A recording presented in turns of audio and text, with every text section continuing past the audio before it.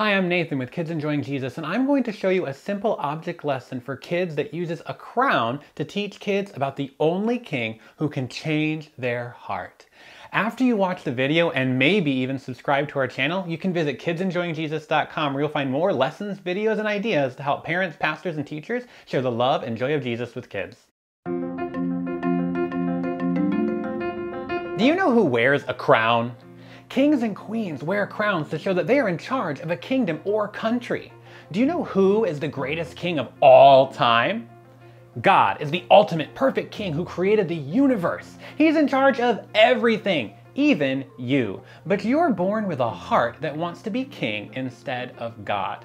Did you know the word heart is used over 700 times in the Bible? When the Bible uses the word heart, it's usually talking about who you really are on the inside, the part of you that thinks thoughts, feels feelings, and chooses choices. Your heart wants to be king because your heart has a big problem, and the Bible tells us what it is. It says, The heart is deceitful above all things and desperately sick. Who can understand it? The Bible tells us there's a huge problem in your heart. It's called sin. So I'm going to take this crown with a heart on it and I'm going to write sin here right in the middle. Perfect, just like that. Now, you have sin in your heart that rules over you, and sin makes a terrible king. Sin is anything you think, say, or do that breaks God's perfect rules. You do things like lying, cheating, fighting, and wanting your own way because you were born wanting to be king of your own heart because you have sin in your heart. The worst part is a sinful heart will keep you far away from God, the wonderful king who made you and loves you. So what I'm gonna do is I'm gonna cut this heart out of this crown.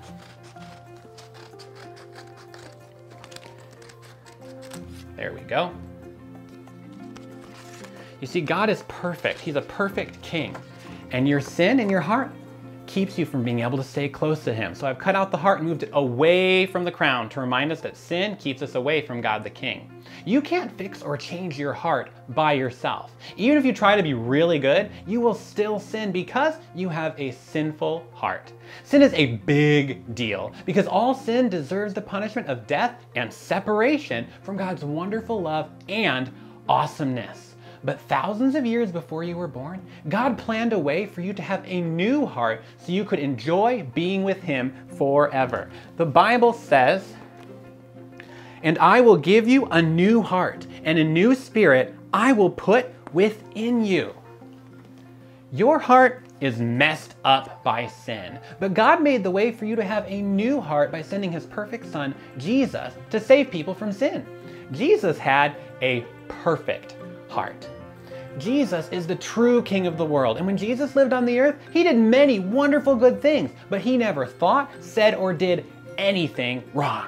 His kingly heart is perfect and pure, totally sinless. That's the kind of heart you need in order to be close to God.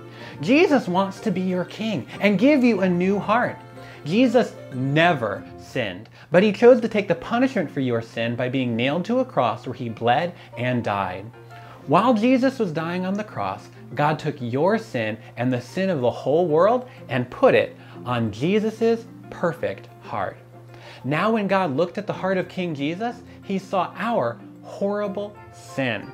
The Bible says, For our sake, he made him to be sin who knew no sin, so that in him we might become the righteousness of God. God put your sin on Jesus and punished him for it instead of you. Jesus died and was separated from God in your place. But he didn't stay dead. God brought Jesus back to life, and today he's in heaven ruling as the awesome King of heaven and earth. Jesus wants to be the king of your heart. Because Jesus died and rose again, he can give you a new heart that's ready to be with him in God's kingdom forever and ever and ever and ever. The Bible says if you confess with your mouth that Jesus is Lord and believe in your heart that God raised him from the dead, you will be saved.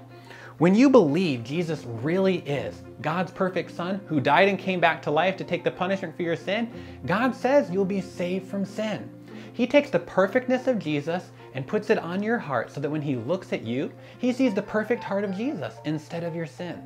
Having Jesus as the king of your heart makes you ready to live forever with God, your king, in heaven someday.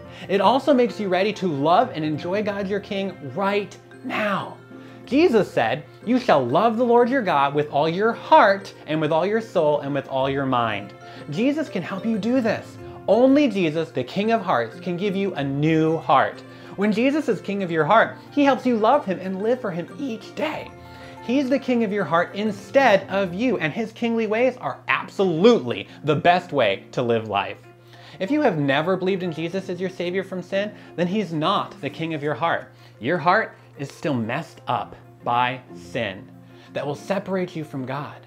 You can believe in Jesus and have Jesus be the King of your heart today. If you have questions about what that means, or you want to talk more about it, please talk to your parents or someone from your church. God can use them to help you learn more. You can also talk to God about it right now. Tell him what you believe about Jesus and ask him to help you make Jesus the king of your heart.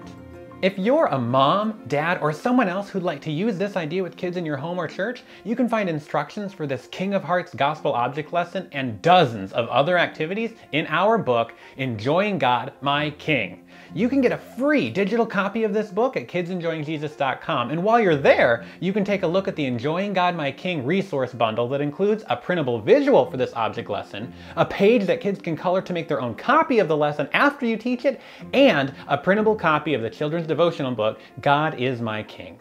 I'll put links to all these things in the video description so you can check them out right after you give this video a thumbs up and share it with your friends.